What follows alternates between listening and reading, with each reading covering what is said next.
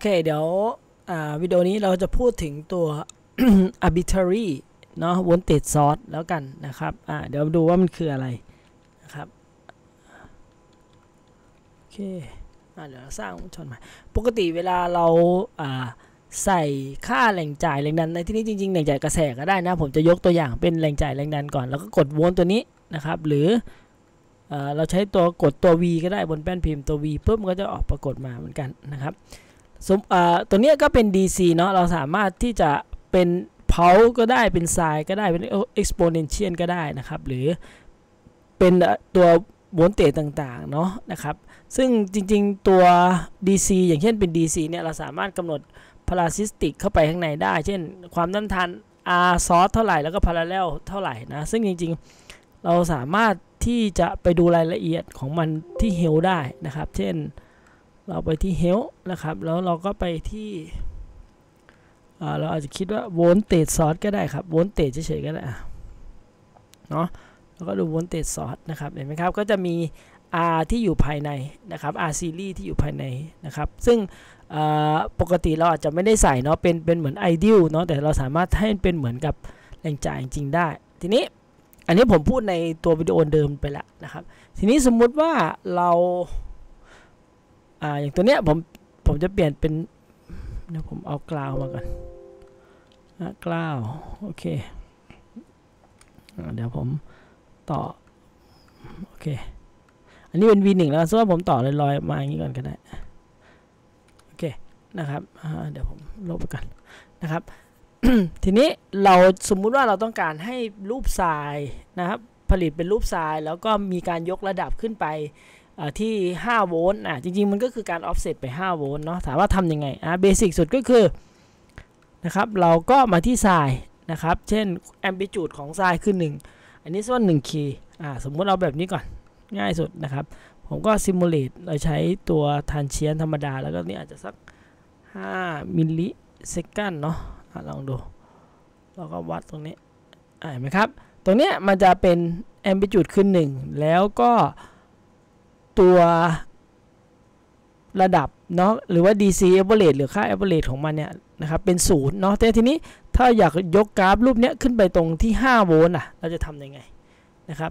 ในตัวทรายเองเราก็สามารถใส่ DC offset ไปได้คือ 5 นะครับอ่าแล้วลองซิมดู เห็นไหมครับ ตัวกราฟก็จะเหมือนเดิมแต่ต่างกันตรงที่แกนด้านซ้ายมือเนี่ยปกติตัวนี้จะเป็นศูนย์เนาะมันเหมือนยกระดับขึ้นมานะครับอ่าเราลองลองทำงี้ก็ได้ครับอ่าตัวนี้ อาจจะเป็นที่ศูนย์นะครับอ่าเนี้ยถ้าเป็นสักแปดแปดก็ได้นะครับเห็นไหมครับก็คือตัวศูนย์เนี่ยมันจะถูกยกระดับขึ้นมาเห็นไหมครับอะทีนี้คำถามคือว่าเราจะทำด้วยอันนี้จะทำรูปอย่างเงี้ยทำทำอย่างอื่นได้ไหมอะเป็นเบสิกก่อนนะมันจะมีตัวแหล่งจ่ายอันหนึ่งนะครับ เราเรียกว่า arbitrary นะนะครับ โดยเราก็มาตัวนี้นะครับเบื้องต้นก็คือ เราก็สามารถที่จะ เซิร์ชก็ได้นะครับ จริงๆก็คือตัวนี้ครับก็คือตัว BV นั่นเองนะตัว BV นะครับอ่าเห็นไหมครับ ทีนี้ BV คืออะไร เดี๋ยวเรามาดูตรง อันนี้นะครับเป็น voltage source ที่เป็น arbitrary เนาะอยู่ตรงไหนอะเดี๋ยวผมดูก่อนเออเอา search ก็ได้ครับ เดี๋ยวเราลอง search เอา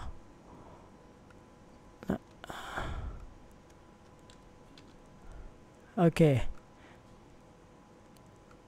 โอเค อ่า ในที่นี้คือเป็น arbitrary behavior เนาะ voltage เนาะ ตัว B BV ย่อมาจาก behavior behavioral voltage นะครับ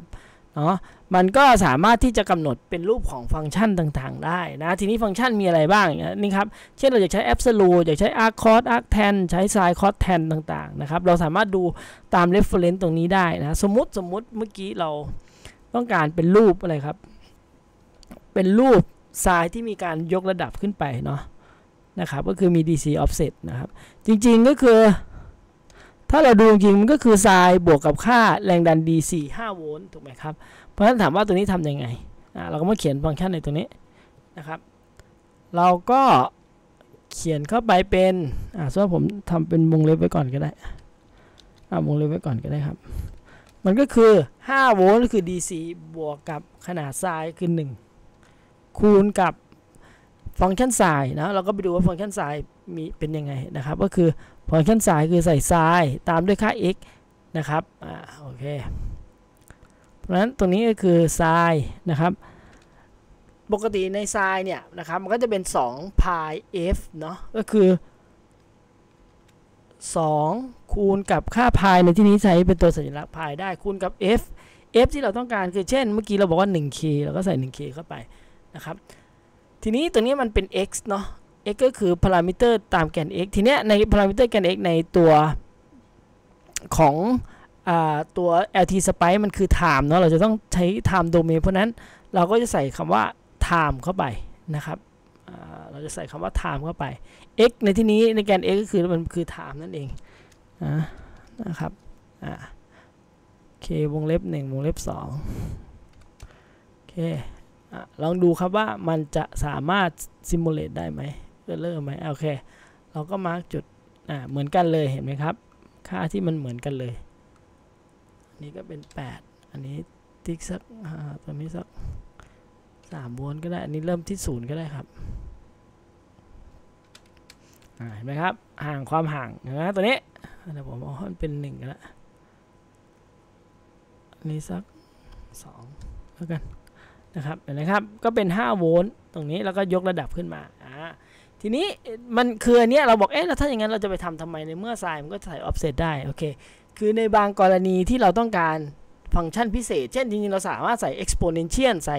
sin cos tan อะไรต่างๆ ได้หมดเลยนะครับอ่าหรือที่ที่เห็นเราอาจจะต้องใช้บ่อยๆเช่นเราทำเป็น Fourier series อย่างเงี้ยนะครับ เช่นเราเอาอันแรกคือความถี่อ่าสมมติว่าขนาดเป็น เป็น2นะครับแล้วมีความถี่ 1k นะครับแล้วก็บวกกับฮาร์โมนิกของมันนะครับแอมพลิจูดอาจจะไม่ใช่กับ2นะครับหรือจะเป็นบวกหรือเป็นลบก็ได้นะครับเช่นตัวนี้ความแอมพลิจูดอาจจะเป็น 0.5นะครับแล้วความถี่เช่นสมมติว่าเป็นสัก 5k บวกเข้าไปเห็นไหมครับเราสามารถใช้ตัวเนี้ยนะครับฟังก์ชัน arbitrary เนี่ยนะครับได้เลยนะเราลองดูผลมันนะครับอ่านะ เราก็วัดแรงดันตรงนี้เห็นไหมครับ มันจริง ๆ ตัวเนี้ยมันก็คือเกิดจากไซน์นะครับที่ 1k มีขนาดแอมพลิจูด2บวกกับไซน์ที่มีขนาด 5k นะครับแอมพลิจูดเท่ากับ 0.5 นะครับ จริง ๆ แล้วเราสามารถ verify ได้โดยใช้ตัว Fourier series ได้นะครับ Fourier ตัว transform มันได้นะครับ view ไปที่ Fourier ได้นะครับอะเราก็จะเห็นความถี่เลยว่าเนี่ยความถี่ 1k นะครับ นี่ก็เป็นความถี่ 5k นะแอมพลิจูดก็เนื่องจากมันเทคเป็น dB เนาะก็จะตามนี้นะครับ